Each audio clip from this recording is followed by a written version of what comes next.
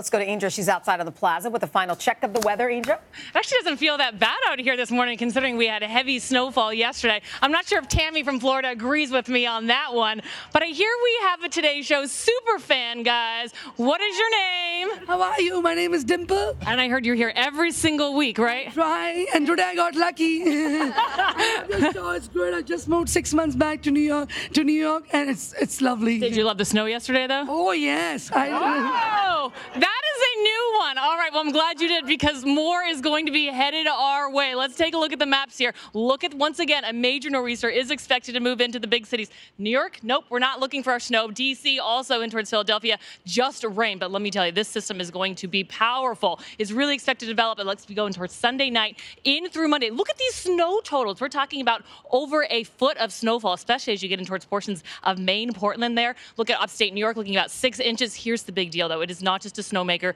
It's a blizzard-like conditions. We're talking about very strong gusts going upwards even as high as 60 miles per hour. That's a look at the big picture. Here's a look at your local weather.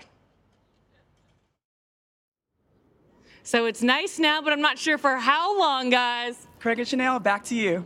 Perfect. We'll take Fantastic. it. She's hired. I love that. Thank you, Angel.